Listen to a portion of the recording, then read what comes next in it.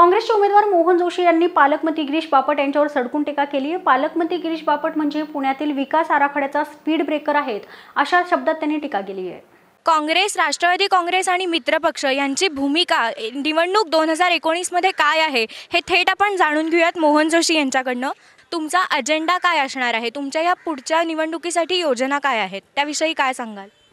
आमच्या अ, दोन पद्धतीचा अजेंडा आहे.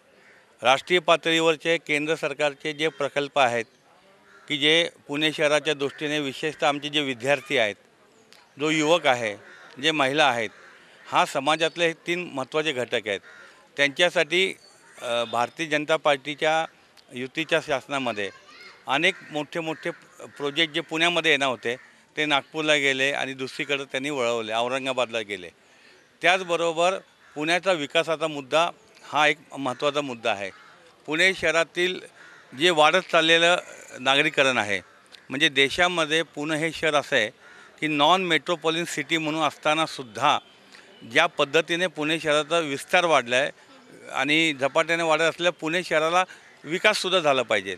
तर तो विकास करण्याची माझी भूमिका आहे. पुणे शहरातील समाजामधल्या सर्व घटकांच्यामध्ये आपलं पुणे कसं असावं हे जे त्यांचं स्वप्न आहे ते स्वप्न माझं आहे आणि ते व्हिजन घेऊन मी पुणेकरांच्या पुढं मतं मागायला जात आहे. अ, विकास कामाचं जे आराखडा आहे जो मांडलेला आहे भाजपाने त्यावर तुमची अ, भूमिका काय असणार आहे? भारतीय जनता पार्टी फक्त बोलायचं काम करते. आणि त्यांचे जे उमेदवार आहेत पालकमंत्री गिरीश बापट हे पुण्याच्या विकासामधले स्पीड ब्रेकर आहेत.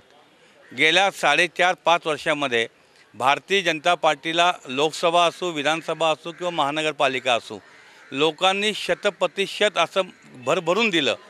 परंतु भारतीय जनता पार्टीने मात्र पुणेकरांची फसवणूक केली घोर निराशा केली आणि म्हणून जे उमेदवार दिलेले आहेत ते या सर्व गोष्टीला जबाबदार आहे आणि म्हणून आमची हीच भूमिका आहे की गिरीश बापट हे पुण्याच्या विकासामधले स्पीड ब्रेकर आहेत. गिरीश बापट हे पुण्याच्या विकास कामामधले स्पीड ब्रेकर आहेत असं मोहन जोशी यांचं मत आहे. कॅमेरामन शिवाजी साळुंके यांच्यासह तन्मयी मेंदळे दिनमान न्यूज पुणे.